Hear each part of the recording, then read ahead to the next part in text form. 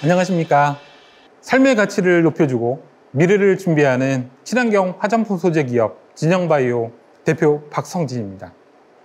말씀드릴 순서는 화장품 산업 및 환경 관련 화장품 원료와 관련된 이슈를 시작으로 저희 진영바이오의 대안 제시, 진영바이오의 소개 및 향후 성장 계획 등에 대해서 차례로 말씀드리겠습니다. 화장품의 역사는 기원전 3,500년 전부터 사용되고 있, 을 정도로 그 역사가 깊습니다. 국내에서는 1922년 국내 화장품 1호 박가분을 시작으로 최근에는 K-뷰티와 더불어 놀라운 성장을 지속하여 2019년 기준 전 세계 8위 14조 원의 시장 규모로 성장하였습니다. 이는 신규 화장품 소재의 개발과 더불어 한국인의 놀라운 아이디어와 기술이 없었다면 불가능했을 것입니다. 그러나 화장품 산업의 성장 배경에는 또 다른 문제점이 있습니다. 무리한 자연, 자원 사용으로 인한 환경 파괴가 있었으며 생분해가 되지 않는 원료 사용으로 사람에게까지 악영향을 끼치고 있는 실정입니다. 특정 성분은 해양과 토양을 오염시켰을 뿐만 아니라 직접적으로 사람에게 유해를 끼치는 원료들이 보고되고 있습니다.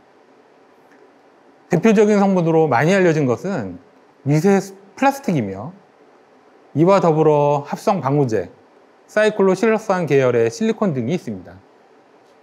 이런 성분들은 환경 유해 물질, 인체, 인체 독성 물질로 분류되어 유럽연합, 캐나다, 미국을 포함한 여러 선진국에서 법적으로 규제가 되고 있습니다. 최근 2020년 2월부터 추가로 법적 규제를 받고 있는 품목은 사이클로 실록산 계열의 실리콘입니다. 1943년 미우 다우 코닝사에서 시작한 실리콘은 산업용으로 많이 활용되고 있는 소재인데 2000년 초반부터 화장품에도 널리 사용되고 있었습니다. 그러나 일부 실리콘 계열은 화장품에 사용함에 있어 수세기 동안 생분해가 되지 않아 해양과 토양을 오염시키는 문제점이 있었고 특히 인체에 악영향을 끼치는 성분으로 규정되어 법적으로 사용을 규제하기 시작했으며 이에 따른 전 세계 화장품 기업들도 발빠르게 움직이고 있는 상황입니다. 우리가 주목한 것은 바로 이 점입니다. 우선적으로 환경에 유해하지 않은 성분, 실리콘과 유사한 사용감, 화장품 제조 시, 제조 시 안정성을 고려한 실리콘 계열 대안 원료 물질이 필요하였고 저희는 각고의 노력 끝에 실리콘 대체제를 개발할 수 있었습니다. 또한 화장품 제조 시 사용이 편리하도록 원료를 개량하였으며 이를 활용한 화장품 제형화 기술도 완료하였습니다. 또한 이와 더불어 친환경 국제 인증도 획득한 상태입니다. 저희는 실리콘을 대체하기 위한 작업으로 실리콘과 유사한 성분의 물질을 찾아보았습니다. 그래서 주목한 것이 gelling agent입니다. 전 세계가 보편적으로 사용하고 있는 gelling agent는 크게 네 가지 계열로 실리콘 계열, 왁스 계열, 덱스트린 계열, 아미노산 계열이 있습니다. 왁스 계열은 사용감이 뻑뻑하고 계절적으로 변화가 심하다는 단점이 있어 저희가 주목한 것은 덱스티닌 계열과 아미노산 계열입니다.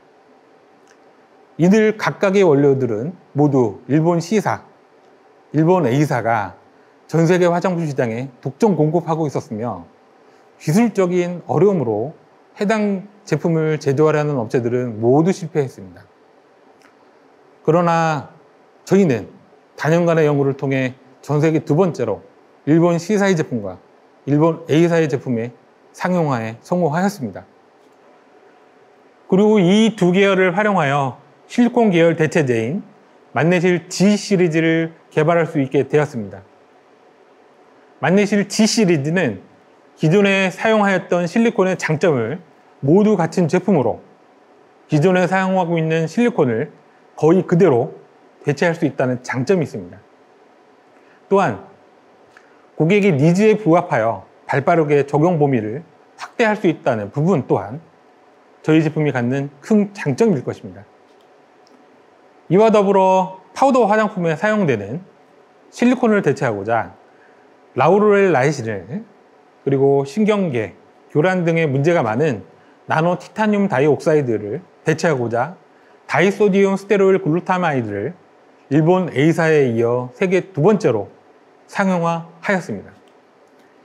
이에 대한 성과로 한국 C사는 실리콘 대안 원료를 적용하여 제형 개발을 진행 중에 있고 K사는 제품 출시를 준비하고 있으며 더 나아가 프랑스 L사도 실리콘 대안 원료로 검토를 하고 있습니다. 또한 미국 이사의 경우 일부 제품의 독점 공급을 저희 진영바이오에 제한하고 있는 상황입니다. 저희 진영바이오의 현재와 미래에 대해서 말씀드리겠습니다.